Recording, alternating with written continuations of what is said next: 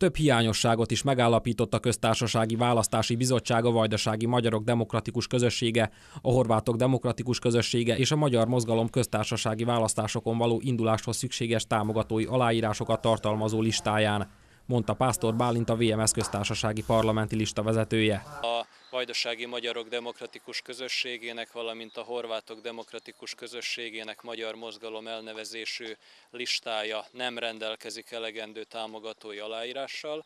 A VMS köztársasági választási bizottságba delegált tagjai áttekintették, hiszen ehhez joguk van ennek a listának a teljes dokumentációját, és megállapítást nyert, hogy 179-el kevesebb aláírással rendelkezik a VMDK HDK lista.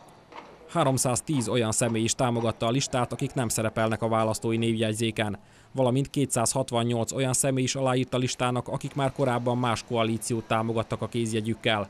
Pásztor Bálint arra is felhívta a figyelmet, hogy a választásokon való induláshoz szükséges aláírásokat az említett pártok többek között Közép- és Dél-Szerbiában gyűjtötték össze. Többek között Králjevóból, Tyupriáról, Loznicáról, Zajecsárból, Borból, Majdanpekből, Sabácról, Bujanovácról, Kragujevácról, Váljevóból és Bajna Bástából támogatták ezt a magyarnak nevezett listát. Azt gondolom, hogy a vajdasági magyarok le tudják szűrni, hogy kinek a támogatásával és milyen céllal indul ez a lista.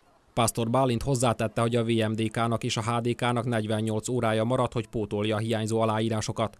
Szerinte abból kiindulva, hogy négy hét alatt több mint 9600 aláírás gyűjtöttek össze Szerbia területéről, arra lehet következtetni, hogy a hiányzó aláírásokat nem fogják összegyűjteni Vajdaság területén két nap alatt. Kijelentette, hogy a VMS éberen figyeli majd, hol fogják az újabb aláírásokat gyűjteni.